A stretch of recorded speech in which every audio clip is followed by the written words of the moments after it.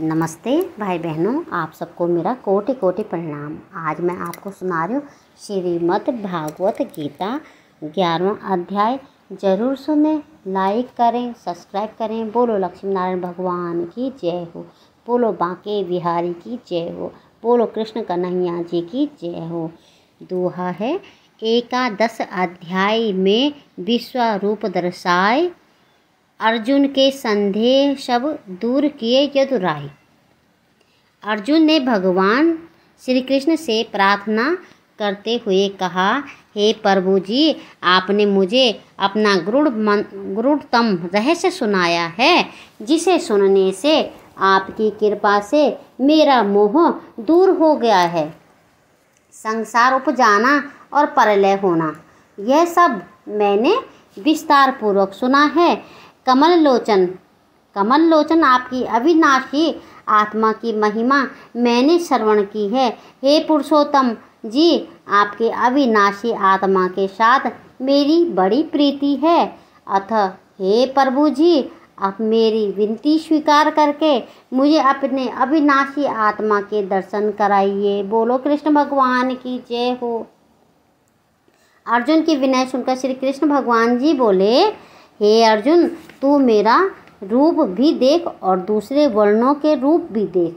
नाना प्रकार की प्रकृतियाँ देख, कई सूर्य देख, कई वसु, कई अविनाशी, कवि अशिवनी कुमार, कई पवन देव। जो तूने अब तक नहीं देखे, वह देख। हे गुड़ाकेश, अर्जुन, सारा संसार इकट्ठा देख।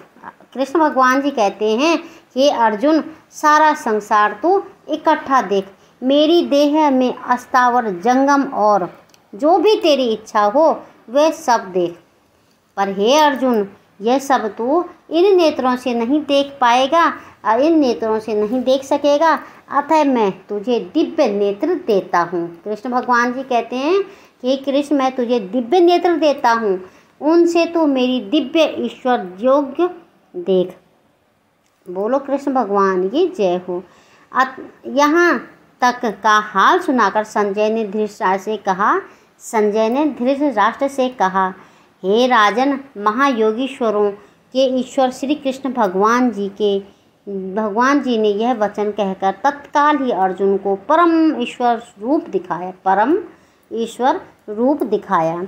जिस स्वरूप में अनेक मुख हैं और अनेक ही दिव्य नेत्र हैं और अनेक ही दिव्य अद्भुत दर्शन हैं, अनेक आभूषण पहने हैं अनेक प्रकार के वस्त्र और गले में माला है और दिव्य सुगंधियों के साथ लेपन किए हुए हैं। सभी आश्रय और अनंत अंत, अनंत सभी दिशाओं में मुख, जो आकाश में एक ही बार में बारह शस्त्र सूर्यों को बिखेर रहे हैं। उनके प्रकाश से भी अधिक भगवान के विश्व रूप का प्रकाश है। वहाँ सारा जगत श्री विष्णु भगवान जी की देह में है। बोलो श्री कृष्ण भगवान की जय हो। पांडव अर्जुन के यह सब देखकर रोंगटे खड़े हो गए और रोंगटे खड़े हो गए और उनसे आश्रय से उन्हें नमस्कार किया। दोनों हाथ जोड़कर वह वह कह रहा है, हे देवों के देव, हे देवों के देव श्री कृष्ण भगवान जी, मैं आपकी देह में अनंत ही रूप देख रहा हूँ, जिसका कहीं जिसका कहीं भी अंत नहीं दिखाई दे रहा है। हे विश्वेश्वर, ऐसा आपका विश्व रूप है। आपके सर, सिर अनंत हैं, जिन पर सुंदर मुकुट हैं। आप हाथों में शंख, चक्र और गदा दिख रहे हैं और चारों ओर आपके तेज का प्रकाश फैला हुआ है। मैं आपके इस विश्व रूप को नहीं देख सकता। आपका रूप ऐसा है, मानो परलब अग, मानो परबल अग्नि जल रही हो, जैसे असंख्य सूर्य एक साथ उदय हो गए हों। ऐसा अनंत आपका तेज है। आप अजर अविनाशी हैं, सबसे परे हैं, जानने के योग्य हैं, अनेक अनेक प्रकार की रचना से पूर्ण हैं, पहले से भी पहले हैं, धर्म की रक्षा करने वाले सनातन धर्म सनातन पुरुष हैं। आप अनादि हैं, आपके बल का कोई अंत नहीं है। इसी कारण आपका नाम पराक्रम है। बोलो कृष्ण भगवान की जय हो, बोलो बांके बिहारी की जय हो। अनंत ही आपकी भुजाएँ हैं, अनंत ही आपके नेत्र है और अनंत ही आपके मुख हैं। जिसमें अग्नि जलती दिखाई दे रही है, आप अपने तेज के प्रकाश से ही सारे विश्व को प्रकाशित कर रहे हैं। आपके इस अद्भुत और भयंकर रूप को देखकर तीनों लोग भयभीत हैं। और कई करोड़ देवताओं को मैं आप में प्रवेश करते हुए देख रहा हूँ। कई करोड़ देवता कांपते हुए आपके सामने हाथ जोड़े खड़े आपकी स्तुति कर रहे हैं। कई करोड़ व सिद्ध पुरुष आपसे भयभीत होकर आशीर्वाद दे रहे हैं कि, हे ईश्वर, तुम्हारी जय हो, तुम चिरंजीव हो हो। कई ऋषिवर सिद्ध तुम्हारी स्तुति करते हुए पुष्प चढ़ा रहे हैं। कई पुष्पों की वर्षा कर रहे हैं। आपके इस रूप को देखकर बहुत से लोग डरे हुए हैं। उन्हें समझाते हुए मुनीश्वर कह रहे हैं, हे लोगों, तुम डरो मत। ईश्वर परम दयालु हैं। कई रुद्र और कई साधु भी दिख रहे हैं। कई ब्राह्मण, कई प्रजापति, कई पवन, कई कोटि दैत्य, कई प्रकार का विश्व देखता देखता हूँ और कई, कईयों को तुम्हारे इस विश्व रूप को देखकर विश्वमय में डूबे हुए देख रहा हूँ। बोलो, कृष्ण भगवान की जय हो। कई नेत्र और बड़ी भुजाएँ देख रहा हूँ। बहुत से आपके उर्व स्थल देख रहा हूँ। आपके मुख, आपके बहुत से चरण हैं, बहुत से उदर हैं और बहुत मुख हैं, जिनमें भयंकर दाढ़ें दिख रही हैं। सभी इस रूप को देखकर बहुत डर रहे हैं। मैं भी डर रहा हूँ। आप आकाश को छू रहे हैं। जगह जगह कई सूर्य प्रकाश कर रहे हैं। आपके अनेक रंग हैं, अनेक ही नेत्र हैं, जिनमें महाप्रलय की अग्नि के पर्वत जलते दिख रहे हैं। हे प्रभु जी, यह भयानक रूप देखकर मेरी आत्मा बहुत डर गई है। मुझे अब धैर्य नहीं है। हे भगवान, अब बस करो। अब प्रसन्न हो। हे भगवान, अब बस करो। अब प्रसन्न हो जाओ। प्रभु जी महापल्ले की अग्नि समान आपके मुख में दाढ़े देखता हूँ। अब तो मुझे दिशाओं का भी ज्ञान नहीं रहा। प्रभु जी, मुझे नहीं पता कि पूर्व कहाँ है और पश्चिम कहाँ है। शांति भी नहीं पाता हूँ। हे जग निवास हे जग निवास हे जगत के आश्रय, अब क्षमा करो। मैं आपका विश्व स्वरूप देख लिया है। अब प्रसन्न होइए यह धृतराष्ट्र के पुत्रों की सेना के जो योद्धा हैं, राजा महाराजे हैं, इनमें मुख्य हैं भीष्म, द्रोणाचार्य व करण। इन सभी को अग्नि में प्रज्वलित, जैसे आपके मुख में पड़े देखता हूँ, महाभयानक जो आपके मुख में दाढ़े हैं, सो कितने ही योद्धाओं के सिर उन दाढ़ों से लटकते देखता हूँ, जैसे बड़े वेग से नदियाँ समुद्र की ओर बढ़ती हैं और उनमें जा विलीन हो जाती हैं। इसी प्रकार मैं बहुत से योद्धाओं को आपके मुख की ओर बढ़ते और उसमें समाते देख रहा हूँ। जैसे प्रलय की अग्नि में पतंगे उतावले हो, उतावले होकर आ पड़ते हैं। वैसे ही आप, वैसे ही बड़े वेग के साथ योद्धा गिर रहे हैं, जिसे आप सांसों में निकलते जा रहे हैं। महाअग्नि से भरे आपके जो मुख हैं, उनमें ही संसार को उपजते, उपजाते हैं। आप ही एक भयं, भयानक विश्व रूप धार धार कर सारे विश्व को भर रहे हैं। हे देवों के देव, आपको नमस्कार है। बस अब प्रश्न होइए, मैं आपका जो आदि अंत देखना चाहता था, वह नहीं देख सका। आपका कोई आदि अंत हो तो दिखाई दे। आप अनंत हैं। बोलो श्री कृष्ण, भगवान की जय हो। बोलो लक्ष्मी नारायण भगवान की जय हो। अर्जुन के वचन सुनकर श्री भगवान जी बोले, हे अर्जुन, इस समय इन लोगों का काल रूप मैं ही हूँ। मैंने यह बड़ा रूप इन लोगों को काल निमित्त ही धारा है, जो दुर्योधन की सेना के योद्धा हैं, जो तुम्हारे सम्मुख हैं। तुम एक के बिना यह नहीं होंगे। तुम एक के बिना यह नहीं होंगे। मैं इन्हें ग्रस लूँगा। इस कारण हे अर्जुन, उठ खड़ा हो, यश ले। इन सब शत्रुओं को जीतकर बड़े धर्म के साथ पृथ्वी पर राज कर दाएँ बाएँ हाथ में एक जैसा शत्रुओं को मार। यह सभी योद्धा मैंने पहले मार रखे हैं।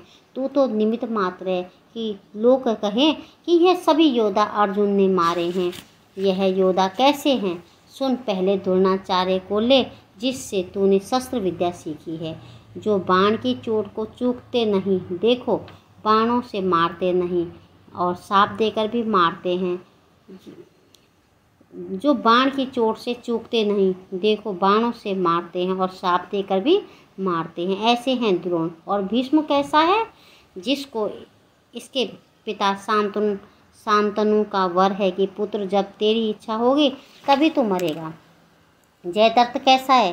जिसका पिता तप करता है और कुरुक्षेत्र के मंडप में जहाँ परशुराम के कुंड हैं, सो कैसे कुंड हैं?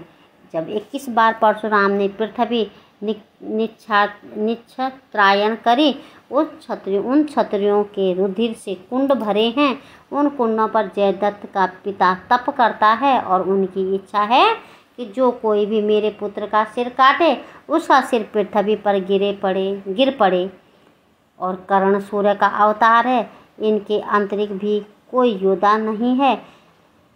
इस, इनके आंतरिक और भी योद्धा हैं। यह तेरे से नहीं मर सकते। इसलिए यह मैंने पहले ही मार रखे हैं। मेरे मारे हुओं का, मेरे मारे हुओं को तो मार और डर मत। बोलो श्री कृष्ण भगवान की जय हो। हे राजा जी, संजय ने धृतराष्ट्र को बताया क्रीटी क्रीटी जो अर्जुन के मुकुट के साथ जन्मा, उसका नाम है वह क्रीटी अर्थात अर्जुन भगवान के वचन सुनकर दोनों हाथ जोड़कर भयभीत होकर श्री कृष्ण भगवान के चरणों में गिर पड़ा और प्रश्न होकर बोला, हे भगवान हे भगवान जी, जो कुछ तुम्हारी देह में चरित्र देखा, सो कहता हूँ, तुम्हारे शरीर में जो अंग हैं, उनमें बहुत जगहों पर साधु संतों और महंतों की मंडलियों देखी हैं। जो परस्पर तुम्हारी महिमा कहते सुनते हैं, तुम्हारे प्रसाद से, तुम्हारे प्रताप से, तुम्हारे पर पद, मुक्ति पद को साधु संत, महांत प्राप्त होता देखता हूँ। तुम्हारी महिमा गाने वालों को देखता हूँ, कई राक्षसों की सेनाओं को देख रहा हूँ, जो तुम्हारे इस रूप को देखकर भयभीत हैं और डरकर दसों दिशाओं में भागे रहे हैं। कई करोड़ साधु तुम्हें नमस्कार कर रहे हैं। हे बड़, हे बड़ों से, हे बड़ों से भी बड़े, तुम्हें क्यों मार कर कर, तुम्हें नमस्कार कर, तुम्हें अवश्य ही नमस्कार करना चाहिए। हे बड़ों से बड़े, भी बड़े, तुम्हें क्यों ना नमस्कार करें? तुम्हें अवश्य ही नमस्कार करना चाहिए, क्योंकि तुम तो इस संसार के रचने वाले ब्रह्म के भी करता हो और अनंत अनंत हो। सब देवताओं से भी पहले हो, प्रभु हो, इसी से सब देवता तुम्हारे किए हुए हैं।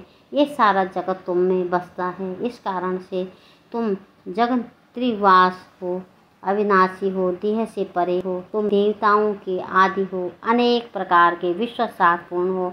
इसी से विश्व निधान हो, वेदों में जानने योग्य हो। तुम्हारा धाम ग्रह और तेज सबसे परे है। इस कारण से तुम परम धाम हो, अनंत प्रकार के संसार के करता हो, हे प्रभु जी विभूति रूप भी तुम ही हो चंद्रमा भी तुम ही हो प्रजा के पति, पिता, माता पिता, दादा और परदादा भी तुम ही। हो प्रभु जी तुम्हारे एक एक रूप को मेरा सौ सौ बार नमस्कार, बार बार नमस्कार। हे महाप्रभु जी तुम्हें नमस्कार, तुम्हारे मुख को नमस्कार, तुम्हारी पीठ को नमस्कार, तुम्हारे तले ऊपर को नमस्कार। तुम्हें सब ओर से नमस्कार, तुम्हारे बल वीर और पराक्रम का भी अंत नहीं। तुम सबके भीतर हो हे प्रभु जी मैंने अपना सका जानकर कहने और न अपना सका जानकर कहने और न कहने योग्य वचन कहे हैं। कैसे वचन? कि हे कृष्ण, मेरा रथ ले आओ। हे देव, मेरा अमुक कार्य करो। हे सके मेरी अमुक टहल कर इत्यादि जो मैंने आपकी अवज्ञा करी है। हे प्रभु जी मैंने आपको पहचाना न था कि तुम ऐसे हो। मैं तुम्हारी महिमा को जानने को सावधान न था।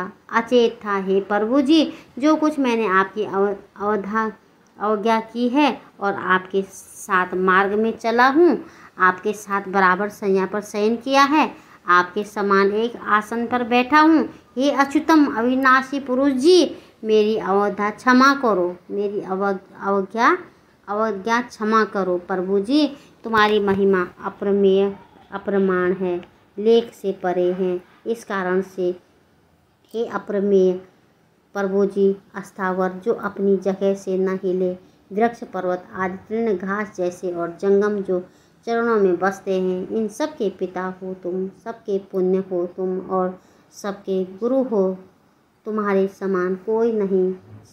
इसी से तुम सबसे अधिक हो, तीनों लोकों में तुम्हारे समान कोई नहीं है। इसी से तुम ईश्वर हो, हे ईश्वर, तुम हर प्रकार से स्तुति करने योग्य हो। मुझ पर कृपा करो, जैसे पिता पुत्र का अपराध क्षमा करता है, जैसे पति अप, जैसे पति अपनी पतिव्रता स्त्री का अपराध क्षमा करता है, इसी प्रकार मुझे भी क्षमा करो। हे प्रभु जी, ऐसा तुम्हारा रूप मैंने पहले कभी नहीं देखा था। सो इस स्वरूप को देखकर मुझे डर लगता है। हे जग त्रिवास देव, अब क्षमा करो। प्रश्न होकर वही दिव्य रूप दिखाओ। मेरी इच्छा वही स्वरूप देखने की है, जो परम सुंदर और चिकने घुंघराले के शोभा पा रहे हैं। पीताम्बर धारण किया हुआ है और कंठ में वनमाला विराजे हुए हैं। एक हाथ में कमोद की गदा, एक हाथ में शंख सुदर्शन चक्र, एक हाथ में मेरे रथ के, मेरे रथ के घोड़ों के बाण, एक हाथ में चाबुक, हे विश्वरूप, शस्त्र बाहु अब मुझे वही अपना चतुर्भुज रूप दिखाओ। बोलो श्री कृष्ण भगवान की जय। बोलो लक्ष्मी नारायण भगवान की जय हो। बोलो बांके बिहारी की जय हो। अर्जुन की ऐसी अनन्य विनय सुनकर श्री भगवान जी बोले, हे अर्जुन, यह विश्व स्वरूप तुम्हें मैंने प्रश्न होकर दिखाया है। यह दिखाया कि यह कैसा है? अपने आत्मा का दर्शन मैंने तुम्हें दिखाया है। यह सबसे परे है, अनंत है। जिसका अंत नहीं, ऐसा परम ईश्वर रूप मैंने तुम्हें दिखाया है। यदि कोई चारों वेद भी पढ़े, तब भी इस रूप को नहीं देख सकता। तीर्थों के करने से या अनेक तपस्याएँ करने से भी यह दर्शन दुर्लभ हैं। हे करो हे कुरुवंशियों में श्रेष्ठ अर्जुन तीनों लोकों में कोई नहीं है जो मेरे ऐसे दर्शन पा सके। यह मैंने केवल तुझे दिखाया है, इसे और किसी से नहीं देख। इसे और किसी ने नहीं देखा। सो हे अर्जुन, भय को त्याग कर तू। जो मूड सा हो रहा है, इस डर को त्याग अभय हो। मन से मेरे साथ प्रीतिवान हो। फिर वही मेरा पहला वाला रूप देख। संजय ने धृतराष्ट्र से कहा, हे महाराज श्री कृष्ण भगवान जी, अर्जुन को यह वचन कहकर फिर वह शकार रूप दिखा रहे हैं, जो सत स्वरूपा था। वही रूप अनेक, वही रूप अर्जुन को दिखाया जिससे उसका भय दूर हो गया। फिर अर्जुन बोला, हे जनार्दन, मैंने जो यह आपका स्वरूप देखा है, यह अति दुर्लभ है। तब श्री कृष्ण भगवान बोले, हे अर्जुन, मेरा यह रूप देखना देवताओं के लिए भी दुर्लभ है। जो रूप तुझे दिखाया है, देवता मेरे इस रूप को देखने की बड़ी इच्छा करते हैं, पर वेद पाठियों के लिए भी दुर्लभ है। ये अर्जुन, वेद में पढ़ने से भी मैं नहीं पाया जाता और न ही तपस्या से पाया जाता हूँ, न ही यज्ञ करने से पाया जाता हूँ। हे अर्जुन, अनेक प्रकार के जो धर्म हैं, उनमें भी मुझे पाठ, जो अनेक प्रकार के धर्म हैं, उनमें भी मुझे पाना कठिन है। जैसे तूने मुझे पाया है, वैसे किसी ने नहीं पाया। क्योंकि तू मेरा अनन्य भक्त है, मेरे बिना कि, तू किसी का भजन नहीं करता। इसी कारण तूने मेरा यह रूप देखा है। इन नेत्रों से भी, ज्ञान नेत्रों, इन नेत्रों से भी और ज्ञान नेत्रों से भी। बोलो श्री कृष्ण भगवान की जय हो। तब अर्जुन उपमा करी, प्रसंग हुए महाराज। तब तब अर्जुन उपमा करी, प्रसन्न हुए महाराज। प्रथम रूप प्रकट कियो मित्र के काज। कियो मित्र के काज? कहाँ अर्जुन समझाई? लड़ो धर्म के हेतु, सुनो तुम मन मन चित लाई यह दुर्गम स्वरूप मैंने तुमको दिखलाया। देव दनुज बांछा करे, वाछा करे, नहीं दर्शन पाया। यज्ञ तप और दान किए सो कोई ना पावे। दर्श उसे मिल जावे, जो भक्ति में चित लावे। बोलो श्री कृष्ण भगवान की जय हो। प्रेम से तूने मुझे पाया है और तेरे अधीन हूँ। तुझे में, मुझे, तूने मुझे पा लिया है और मैंने तुझे, हे पांडव नंदन अब जो तुझको करना है, जो तुझको करना उचित है, सो सुन। परम प्रीति से मेरा पूजा कर। परम प्रीति से मेरी पूजा कर। हर सांस में मेरा नाम का स्मरण कर। इस प्रकार मेरा भक्त हो। संसार के लोगों के साथ प्रीति न कर। सब भूत प्राणियों से निवेर हो। जब ऐसा होगा, तब तू मेरी प्राप्त हो, तब तू मुझे प्राप्त होगा।